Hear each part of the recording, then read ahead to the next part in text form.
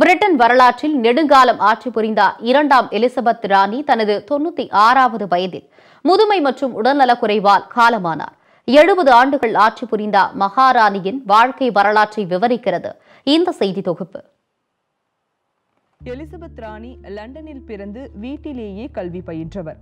ஆயிரத்து தொள்ளாயிரத்து இருபத்து ஆறாம் ஆண்டு ஏப்ரல் மாதம் இருபத்தி ஒன்றாம் தேதி இளவரசர் ஆல்பர்ட்டிற்கும் அவரது மனைவி எலிசபெத்திற்கும் முதல் குழந்தையாக பிறந்தார். தனது கொள்ளுப்பாட்டி அலெக்சாண்டரா பாட்டி மேரி தாய் எலிசபெத் ஆகியோரின் பெயர்களை சேர்த்து எலிசபெத் அலெக்சாண்ட்ரா மேரி என்று பெயர் சூட்டப்பட்டார். ஆனால் தனது நெருங்கிய குடும்பத்தினரால் லில்லிபெத் என்றே செல்லமாக அழைக்கப்பட்டார். இரண்டாம் உலகப் போரின் போது பல பொது சேவைகளில் இவர் ஈடுபட்டார். ஆயிரத்து தொள்ளாயிரத்து நாற்பத்தி ஏழில் எலிசபெத் எடின்பெரோ கோமுகன் பிலிப்பை மணந்தார். எழுபத்து ஆறு ஆண்டுகள் கணவருடன் வசித்து வந்த ராணி இரண்டாம் எலிசபெத்திற்கு சார்லஸ் ஆன் ஆண்ட்ரூ மற்றும் எட்வர்ட் ஆகிய நான்கு பிள்ளைகளும் எட்டு பேர பிள்ளைகளும் உள்ளனர். ஆயிரத்து தொள்ளாயிரத்து ஐம்பத்து மூன்றாம் ஆண்டு இவருக்கு மகாராணியாக முடிசூட்டப்பட்டது. தனது தந்தை ஆறாம் ஜார்ஜ் இறந்தவுடன் ஐக்கிய ராஜ்யம் கனடா ஆஸ்திரேலியா நியூசிலாந்து தென்னாப்பிரிக்கா உள்ளிட்ட ஏழு நாடுகளின் அரசியாக இவர் முடிசூடினார். இது தவிர பொதுநலவாய நாடுகள் என்று அழைக்கப்படும் ஜமைக்கா சொலமன் தீவுகள் Grenada Barbados Bahamas Papua New Guinea Tuvalu Saint Lucia சர்ன் Vincent Grenadines Belize Antigua Barbuda Saint Kitts மற்றும் நெவிஸ் நாடுகளுக்கும் அரசியாக இவர் இருந்தார்.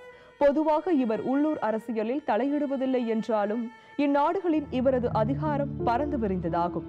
ஐக்கிய ராஜ்யம் உட்பட பதினாறு நாடுகளின் அரசியல் சட்டப்படியான அரசியான இரண்டாம் எலிசபெத் ஐக்கிய ராஜ்யத்தில் லண்டனில் உள்ள பக்கிங்ஹாம் அரண்மனையிலேயே வாழ்ந்து வந்தார். ஐம்பத்து நான்கு நாடுகளை உறுப்பினராக கொண்ட பொதுநல வாரியத்தின் தலைவராகவும் இங்கிலாந்து திருச்சபையின் மிக உயரிய ஆளுநராகவும் இவர் இருந்தார். அயர்லாந்து குடியரசுக்கான அரசு பயணமும் திருத்தந்தையுடனான சந்திப்புகளும் இவரது வருகையில் முதன்மையானவை. தனது ஆளுமைக்குட்பட்ட நாடுகளில் பல்வேறு அரசியல் சட்ட மாற்றங்களை கண்டவர் ராணி இரண்டாம் எலிசபெத். அயர்லாந்து போராட்டங்கள் பேக்லாந்து போர் ஈராக் போர் உள்ளிட்டவை இவரது ஆட்சியில் குறிப்பிடத்தக்க முக்கிய நிகழ்வுகளாகும். ஆயிரத்து தொள்ளாயிரத்து எழுபத்தி ஏழில் நடைபெற்ற வெள்ளி விழாவும் இரண்டாயிரத்து இரண்டில் தங்க விழாவும் இரண்டாயிரத்து பனிரெண்டில் நடைபெற்ற வைர விழாவும் இவரது ஆட்சியின் மகிழ்வான தருணங்கள். விக்டோரியா மகாராணி அதிகபட்சமாக அறுபத்து மூன்று ஆண்டுகள் ஆட்சி புரிந்த நிலையில் அதனை முறியடித்து எழுபது ஆண்டுகள் ஆட்சி புரிந்து அதிக காலம் ஆட்சி புரிந்தவர் என்ற பெருமையை பெற்றார் ராணி எலிசபெத். வின்ஸ்டன் சர்ச்சில் பிரதமராக இருந்தபோது இங்கிலாந்து ராணியாக பதவியேற்ற எலிசபெத் தற்போது பிரதமராகியுள்ள லிஸ்ட்ரஸ் வரை பதினேழு பிரதமர்களை கண்டவராவார் தனது தொன்னூற்று ஆறாவது வயதில் முதுமை காரணமாக உடல்நலக் குறைவு ஏற்பட்டு அஃபன்டின்சயர் பால்மோரல் அரண்மனையில் காலமான ராணி இரண்டாம் எலிசபெத்திற்கு பல்வேறு நாடுகளிலும் இரங்கல் தெரிவிக்கப்பட்டு வருகிறது.